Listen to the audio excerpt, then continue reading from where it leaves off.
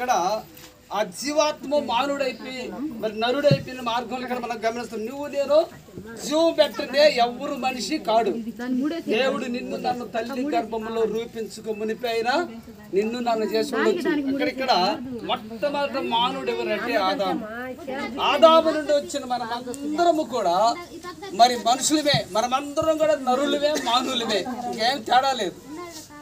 అన్ని నరుడు నేను మనిషి అనేది కానీ అందరూ సమానం కూడా దేవుడు అంటాడు. ఇక్కడ దేవుడు నేల మట్టితో నరుని చేయాలంటే మట్టితో తయారు చేశాడు కానీ ఏదో పుష్పతో ఏదో నా బ్లాక్ పీస్తో చేయలే. అది ఈ లోకంలో కంప్యూటర్తో ఎన్నో రకాల మనుషులు తయారు చేయొచ్చు. డ్రాయింగ్ వేసి బొమ్మను చూపించు కంప్యూటర్లో మళ్ళీ చూపించవచ్చు కానీ అది యేసు ప్రభు చేసే కంప్యూటర్ కాదు.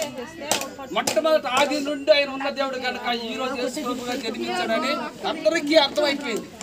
యేసు ప్రభు దేవుడు అనడానికి కారణం ఏంటంటే మొట్టమొదట మనిషిని చేసిన వాడు దేవుడు. గమనించండి మనిషిని చేసిన వాడు